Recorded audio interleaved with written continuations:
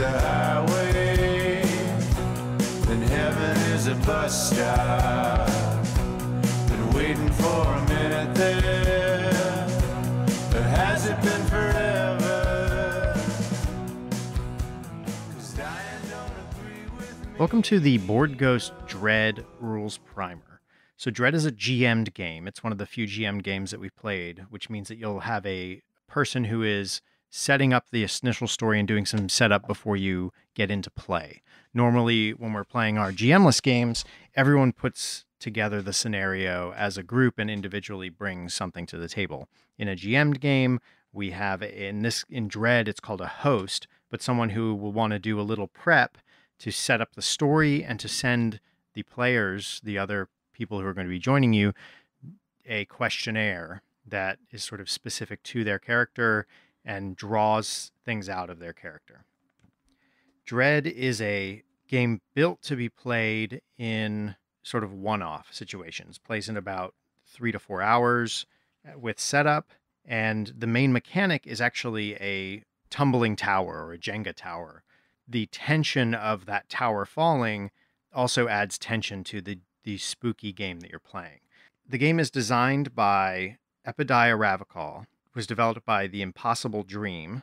Uh, Their website is tilting at windmills.net. So there's a whole a whole crew at The Impossible Dream, including Epidiah Ravachol, and their website is tilting at windmills.net. You can also purchase the game at Indie Press Revolution, Drive Drive Thru RPG should have the game, and we'll put links on the website so you can get access to it. So this game is played with two to six people. It's recommended to have five or six. Dread is a GM'd game, meaning that you'll have a host player, someone who's setting up the story and telling the tale, and you'll have the other players being player characters. The mechanics for the game are a Jenga tower. And when you're doing the setup, the host is going to pre prepare a story. You're going to gather around the table. You're going to set up your Jenga tower. You'll have at least one other player along with the host, and up to five other players along with the host. Then you will fill out your questionnaire that the host provides you. And there are a number of questions provided in the book that give some history, like simple stuff like what is your character's name? And then more leading stuff like why do you not believe in ghosts? Or what made you believe in ghosts, regardless of what other people say?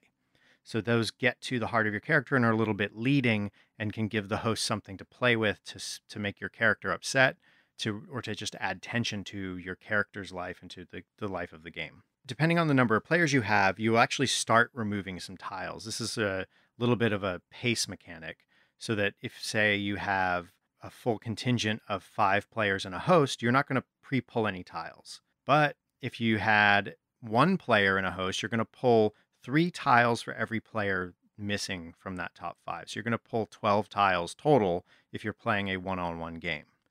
Uh, if we're playing like in Bored Ghost, a four player game with one host and three players, you're going to pull two sets of three tiles. You're going to pull six tiles out and stack them on top. And that's what we did.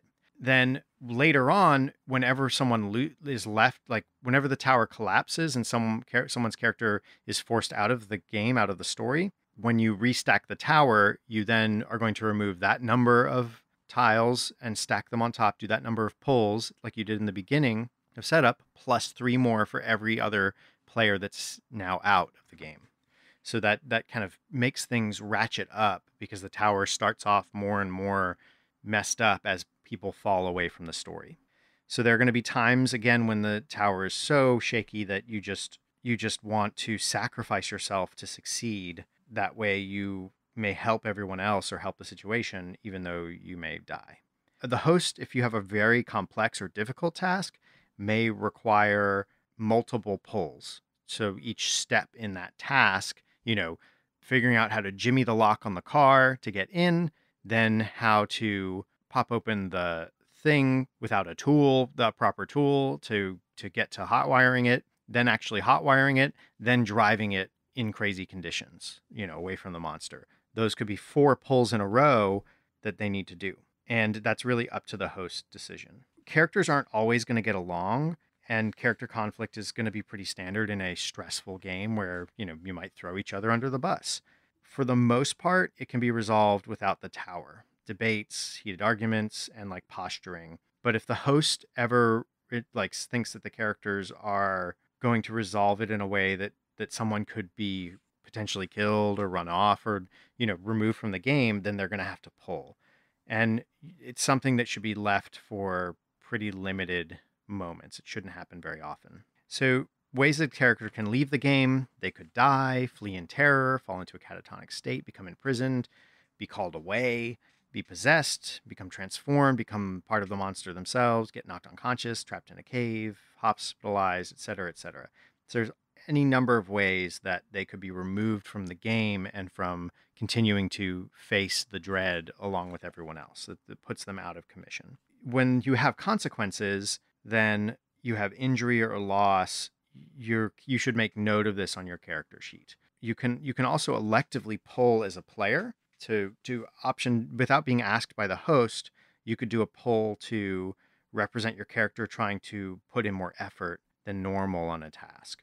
So just in and they should you should as a player indicate how much effort and why you're putting that effort in. So for example, let's say you're working your way through a cave in a blackout situation and you're stumbling forward as quick as you can to try to find or get to the air, get to the screaming voice that you hear down the way, you could do a pull and tell your host, "Oh, I'm also being very careful about my footing because it's slick in here and I want to make sure I don't fall into a hole or trip in any way." And that could force you could force yourself to elect to pull in order to succeed potentially hopefully in that effort. And you can also pull to make a, an attack more lethal, to look for a clue that you as a player may not have, but your character might be able to notice.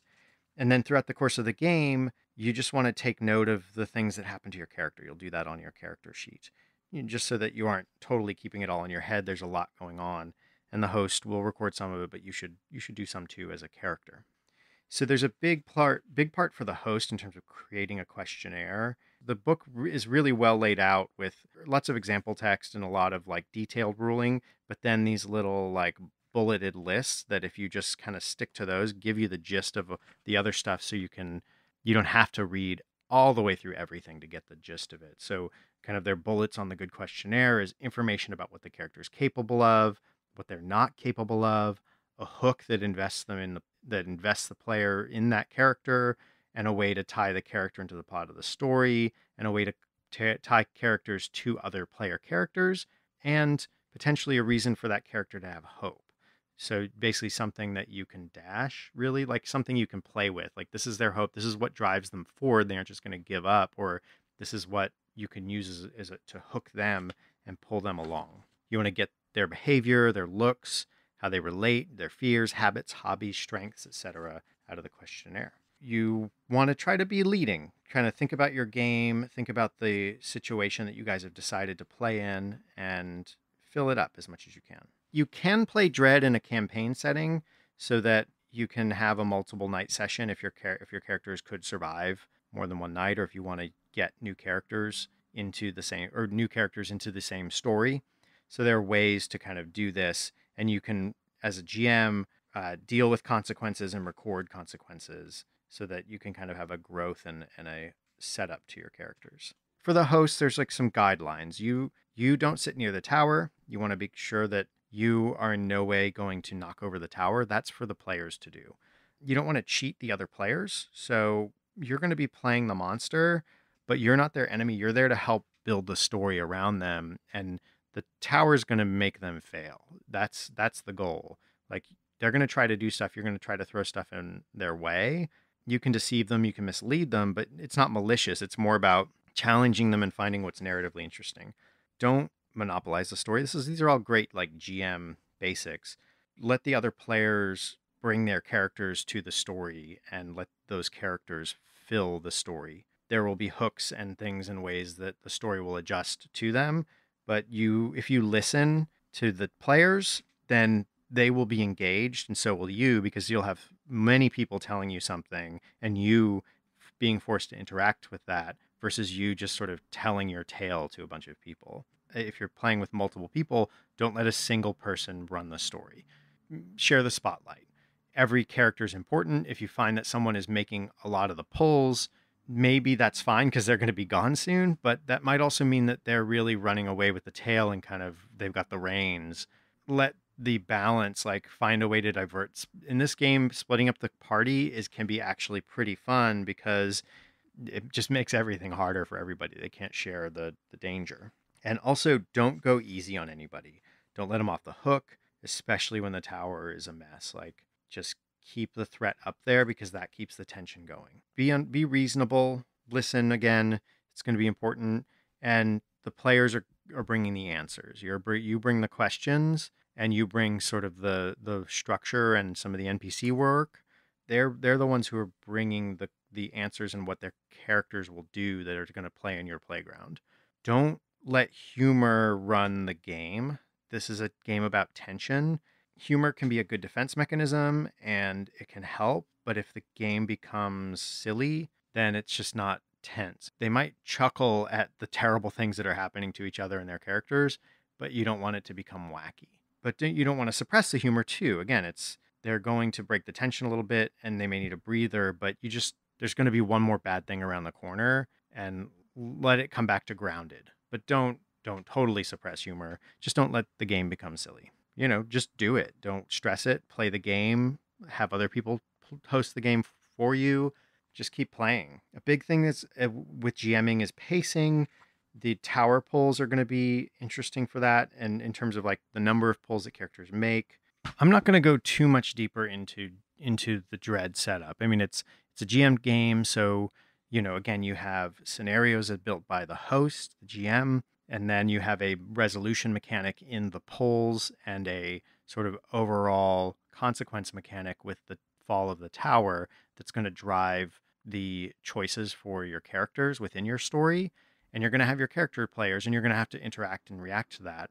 The book has tons of resources. It's actually a fantastically written book about different types of horror stories, how to maintain tension, how to play with pacing, all these great moments. And uh, I, I can't even if you're even if you're just running a D&D campaign or playing in a GMless horror game, reading through Dread and how they talk about madness and gore and supernatural and all these elements that can can be encompassed in a horror game those things are going to add to your understanding of like how to structure those things in a story there are some premises in the game there's also some options if you don't want to use a tower or don't have a access to a tower for other like tension building mechanics that that still can hold up and keep the game moving forward in a similar way so Dread, again, fantastic game. We'll probably get it to the table a couple more times on Bored Ghost. Uh, we love our horror games,